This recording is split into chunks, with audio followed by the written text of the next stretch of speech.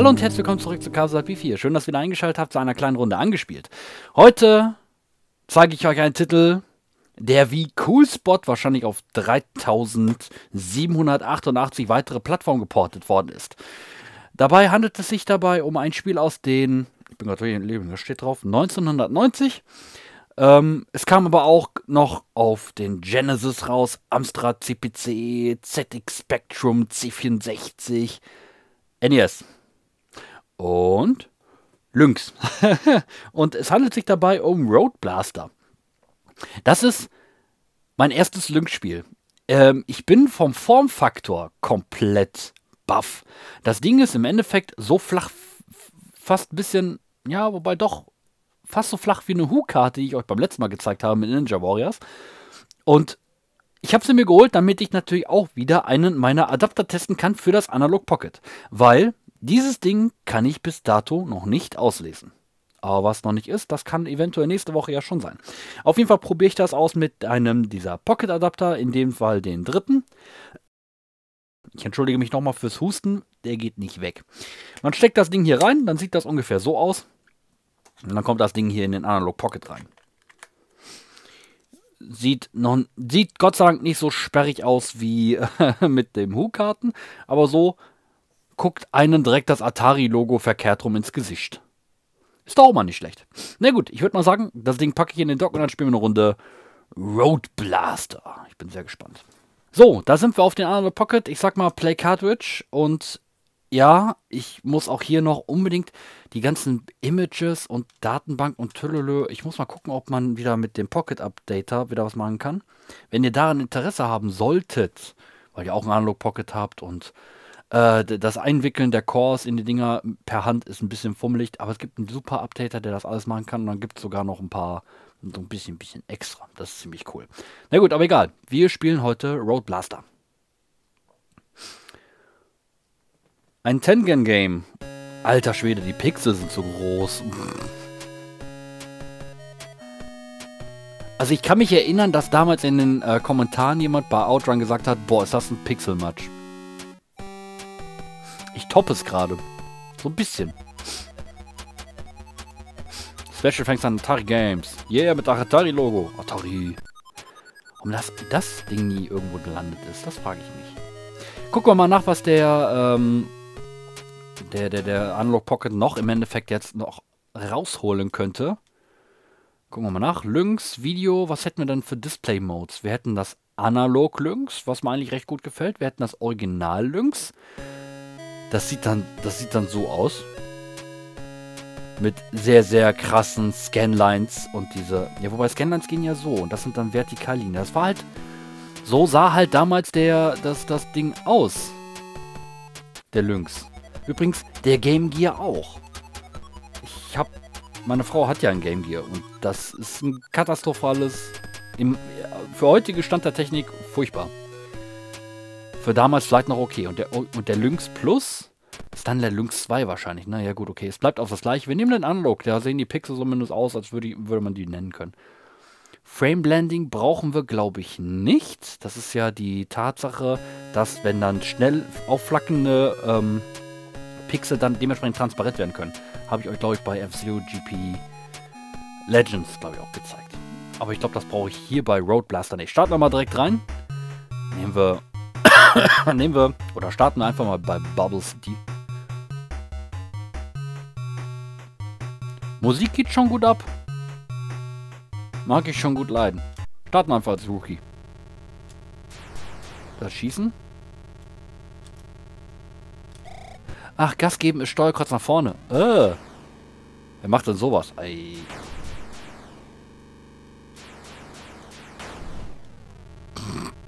Bin schon kaputt.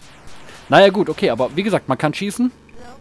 Man hat eine Fuel-Anzeige, die man sich dann mit diesen grünen Dingern auffüllen kann. Braucht man auch, weil wenn die Fuel-Anzeige vorbei ist, heißt es Game Over. Ja, und Autos abschießen ist natürlich ideal. Äh.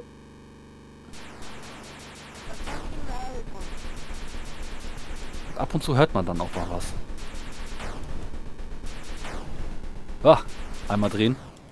Boah, wird vom Turm abgeschossen. Wie frech. Ja, gibt auch außerhalb der Dinge auch dementsprechend Abschusstürme. Und eine Sprachaussage. Die, naja, sagen wir mal, sie ist okay. Guck mal, ich muss die ganze Zeit sogar noch nicht mal auf vorn drücken.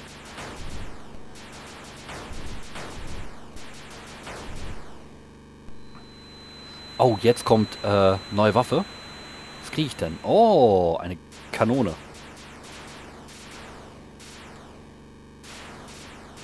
Die ich auch nochmal ballern kann.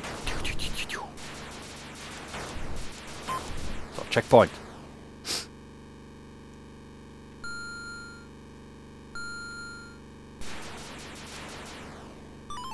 Yay, Bonus Fuel. Auch sehr wichtig. So, jetzt kommen Minen. Da sind zwei, da sind zwei.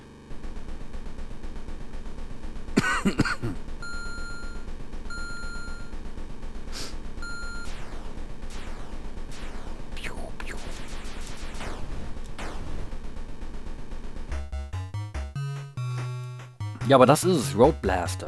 Bla Bla Blasters. Ich höre immer, oh my. Ich muss das mal genau analysieren, was, was der Typ da wirklich sagt. Aber sonst, ja, mich hat das Spiel angesprochen, weil A, ich wollte auf jeden Fall einen Adapter checken und B, es war das günstigste Lynx-Spiel, was es zu dem Zeitpunkt, als ich es testen wollte, äh, auf Ebay gab. Und das günstigste Lynx-Spiel, wo ich zumindest sagen kann, okay, das, das, äh, das passt zumindest dann auch in meine Sammlung rein, ist genau das. Oh, meine, mein Schuss ist weg. Hui! Oh! Ich explodiert. Ja. Und es lag bei 25 Euro. Nur das Modul.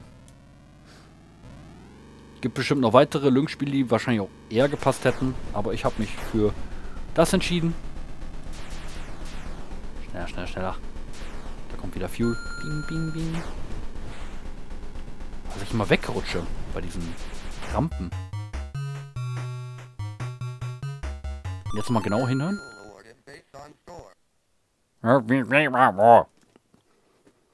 Whatever.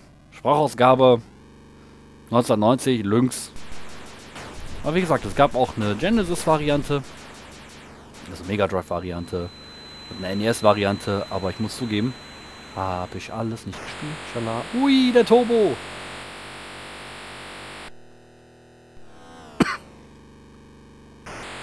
Nochmal. Habe ich noch ein Turbo?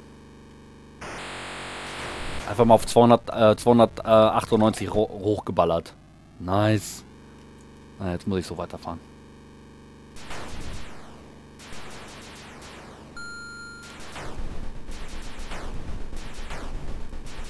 Ja, die blauen Autos kann ich nicht abschießen. Die sind permanenter Dings. Aber ich bin begeistert, was man damals aus den Lynx rausgeholt hat. Ne, weil das ist definitiv keine Atari... Ja, das könnte Atari 7800 Niveau gewesen sein. Ne, so NES-Niveau. Wobei das Spiel auch für Genesis, äh, für Mega Drive rauskam. Aber ist mir... Ist mir noch nie so aufgefallen. Oh, jetzt haben wir Motorräder hier. Fans. Ja, komm, gib mir ein neues Item. Wieder eine Kanone. Oh, extra Fuel. Tada. Ich finde, die Motorräder sind sogar extra fies. Aber so ein Car-Combat-Spiel à la Outrun hatten wir jetzt auch schon lange nicht mehr. Piu, piu, piu, piu. Bonus Fuel.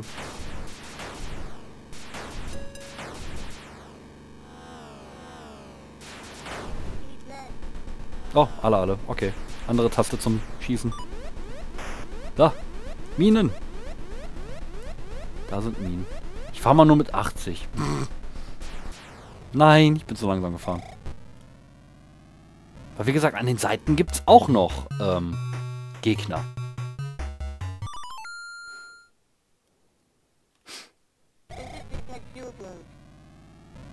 Ich verstehe kein Wort.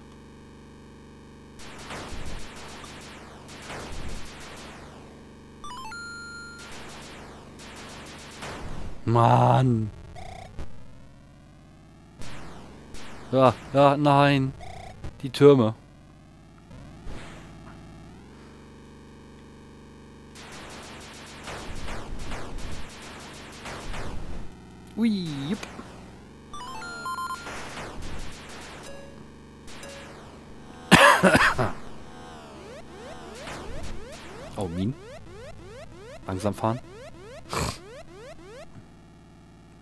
Wobei ich es noch nicht erlebt habe, dass die Minen in der Mitte waren. Aber ist doch geil. Zockt das Spiel in 4K. Ich sehe no Pixel Match. Könnt jeden Pixel bei Namen nennen. Helmut, Henry, Pauline, Manfred.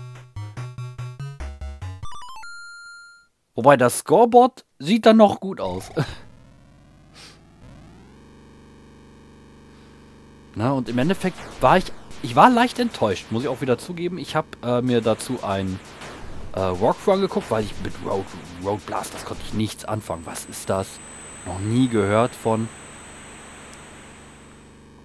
Oh, jetzt habe ich Missiles. Jetzt wird's interessant. Äh, Feuer? Wow. Ich habe alles weggebombt. Glaube ich. Jetzt ist meine Special-Dings weg. Schade.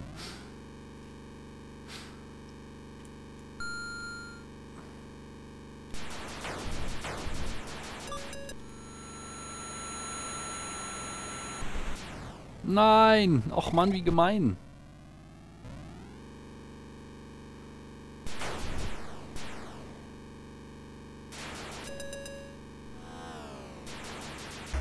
Wo war ich? Ach ja, beim Walkthrough. Das Walkthrough wurde, glaube ich, mit doppelter Geschwindigkeit gespielt, weil das... Ich war leicht enttäuscht, weil ich habe es angemacht und dachte so, ja, so schnell ist das doch gar nicht. Vielleicht spielt es nicht auch schwer oder so, keine Ahnung.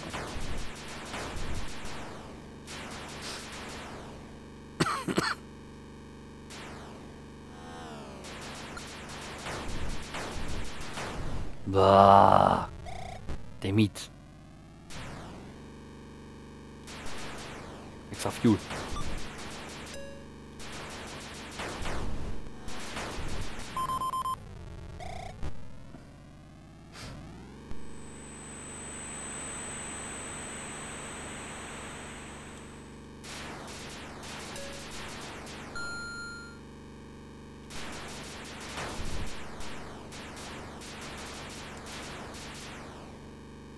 Geht weg.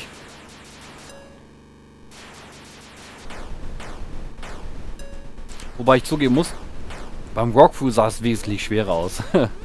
oh, wieder Minen. Oh, ich rutsche erstmal aus. Oh! Gut, dass ich runter vom Gas gegangen bin.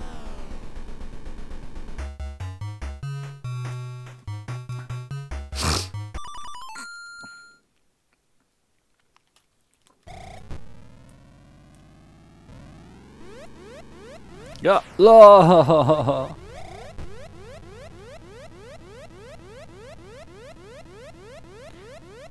Das ist doch Mist mit den Minen, das muss man doch auswendig wissen.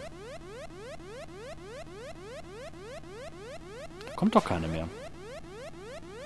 Oh doch. Boah. Gas geben. La.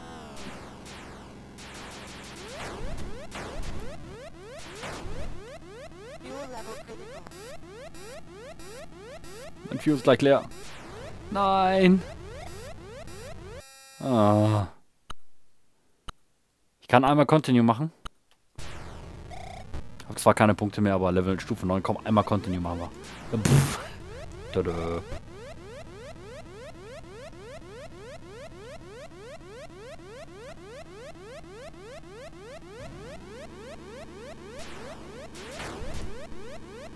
Immer noch Minenwarnung.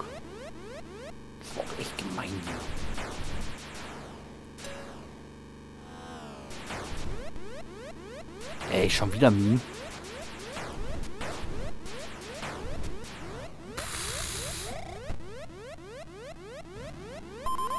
Das musst du auswendig wissen, sonst keine Chance. Fährst sonst gnadenlos in die Mine rein. Gib mir eine Beschleunigung. Ja! Boost Power. Das war schlecht. Und wieder Minen.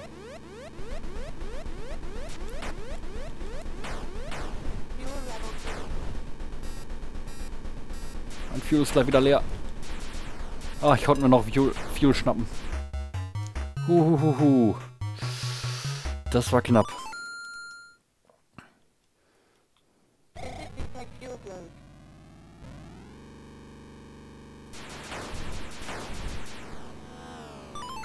Da. No. Den Highscore kriege ich nicht, aber ich glaube, speicherbar ist der wahrscheinlich ja eh nicht. Weil auf diesen kleinen Modulen kannst du nicht speichern.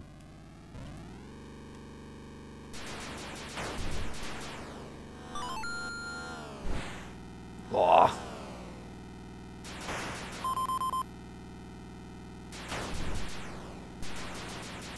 Du bist echt gezwungen, alles abzuschießen, weil du brauchst diese blöden Fuelperlen.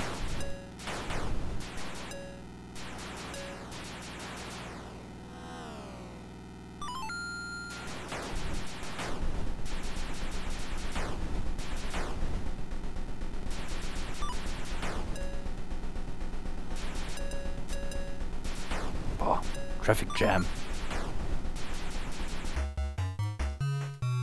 Die rote Kugel fährt einfach weiter. Da, da, da geht's. Level 11.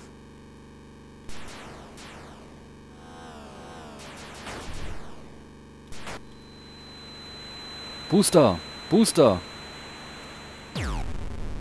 Alles zerstören. Yes. Es wird dann alles weiß. Ich kann durch alles durchfahren. Direkt nochmal. Einfach Gas geben. So, jetzt wird's wieder normal.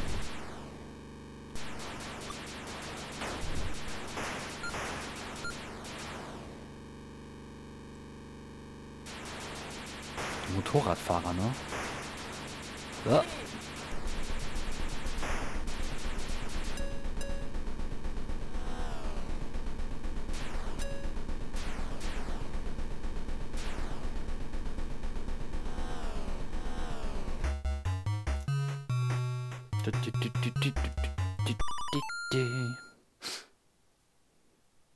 Sogar noch einen. Ja, auch mal verschießen können.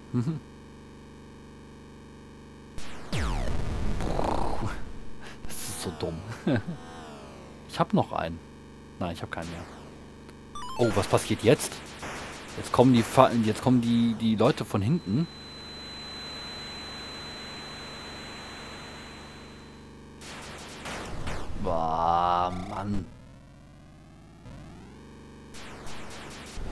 Hui, einmal drehen. Schießen oder ausweichen, am besten beides. Hui, jupp.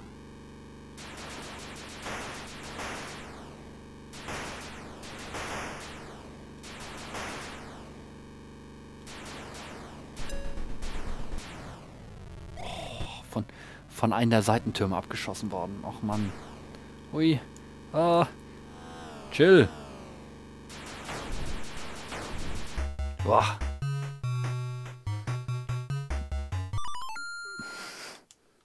Die Musik ist schon cool.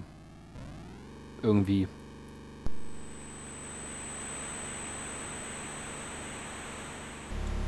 Oh. Habe ich jetzt ein Schutzeschild? Geil.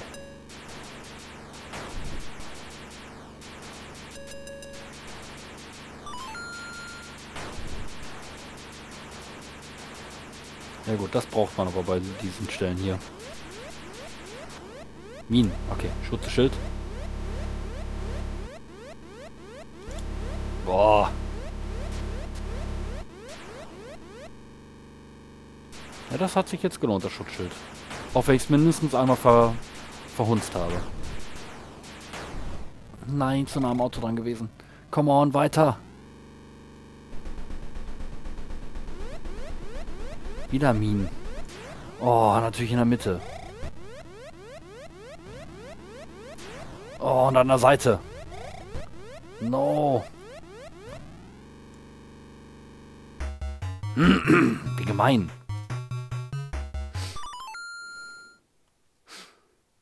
Na, gucken. Schaffe ich die 15 noch?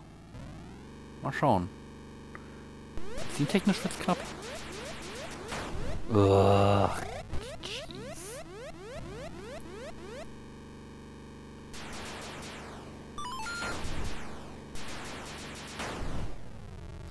Ich will doch nur die roten Orbs haben. Ich will doch nur weiterfahren. Ich fahr mal so. Den roten Orb habe ich nicht bekommen, schade.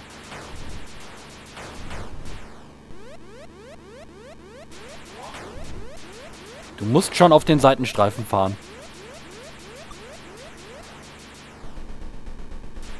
Sonst kriegst du ja echt Schiss.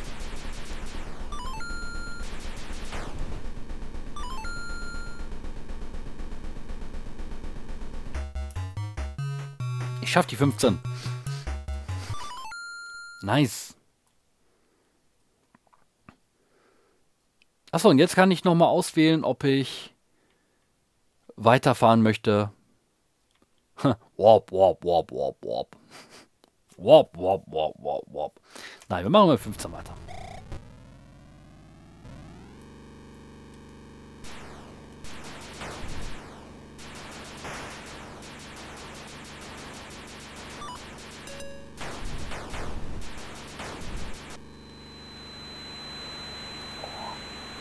Turbo!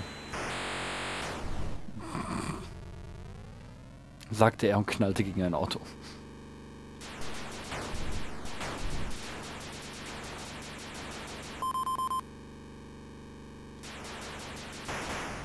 Naja, aber da werde ich definitiv äh, irgendwann mal echt nochmal wühlen, ob ich nicht die Mega Drive-Fassung dazu finde.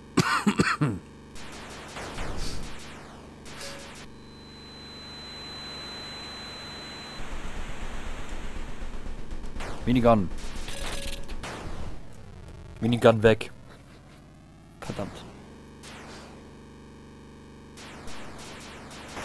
Boah.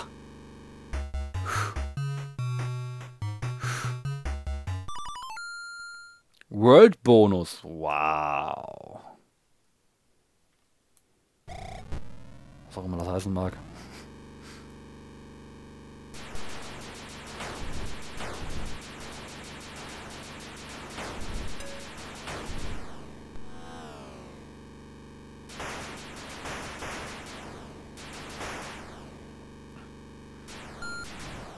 Oh, das ist so gemein.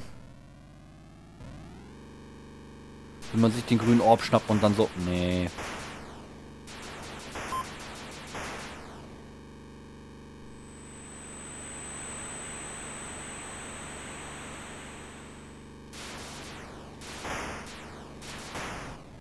Oh, da hat er einfach gebremst. Mir die Waffe weggenommen.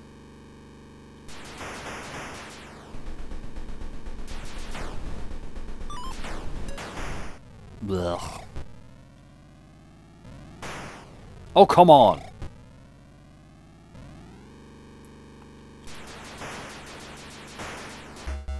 Die fahren echt vor dir und dann... Und oh, tschüss. Das... Alter Schwede, ey.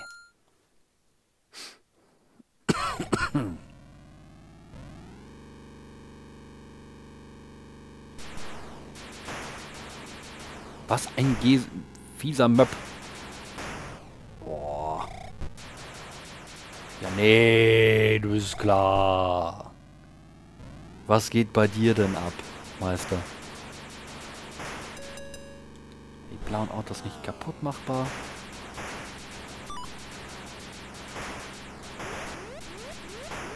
Und jetzt kommen Minen. Ah, ich stehe hier gut, glaube ich. Cruise Missile.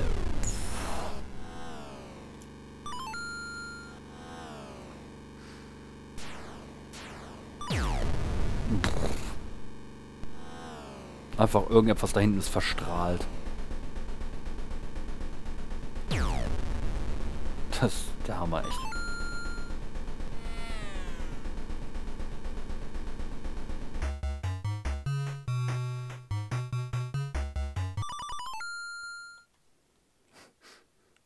Na, mal, mal gucken, ob ich die 20 schaffe. Ich muss auch immer gucken, wie lange das Video jetzt gerade läuft. Ich habe ich hab gerade einfach viel zu viel Spaß dran.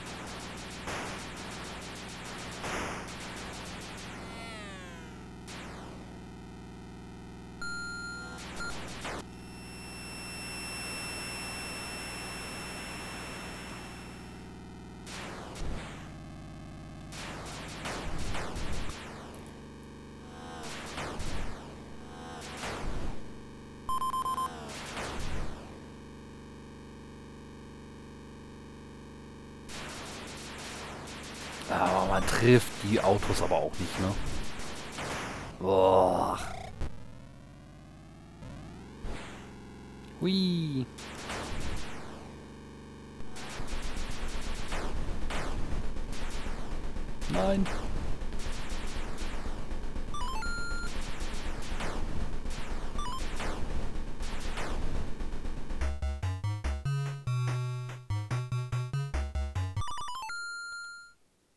Was ist denn jetzt los? Ich...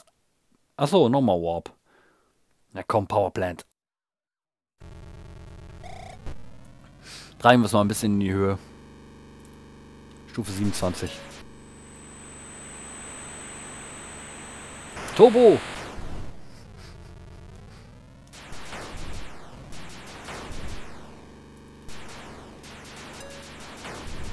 Ich will nicht sagen, dass der Turbo useless ist, ne? Aber ich nutze ihn nicht richtig. Grüne Autos. Ich kann sie abschießen. Na, da war mein Fuel fast zu Ende. Kann das sein, dass die mir die grünen Autos Fuel wegnehmen? Nö, kein Stück. Hui, jupp. Minen. Tot.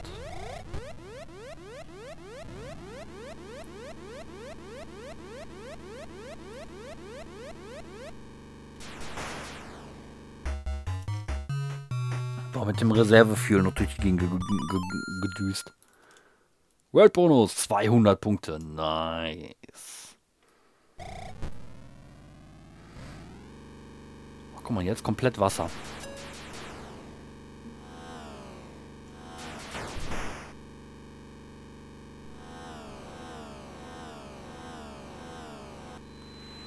Oh, wie ich den ausgewichen bin. Hm. Elektroschild. Das hätte ich jetzt gebraucht. Mist.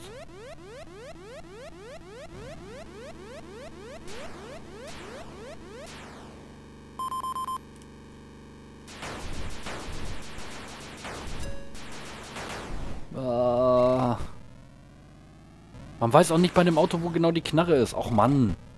Schießt mich doch echt einer von der Seite noch ab. Frechheit.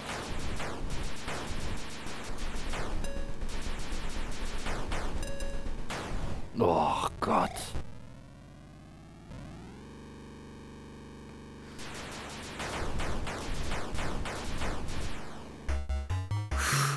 Schon wieder mit dem Reserve-Tank. Das wird jetzt immer knapper. 30.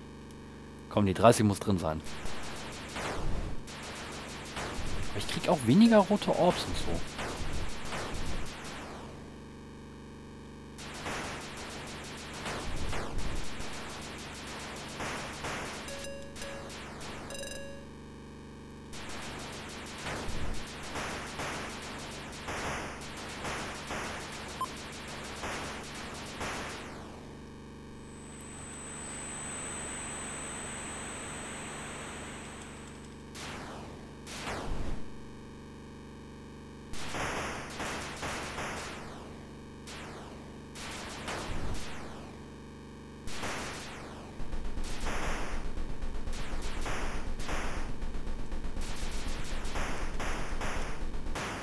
Boah, da hat mich der letzte erwischt. Mann.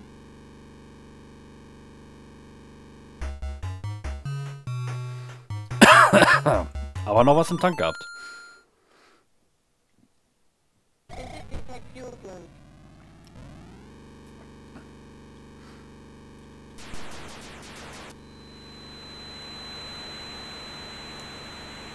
Ja, ein Turbo.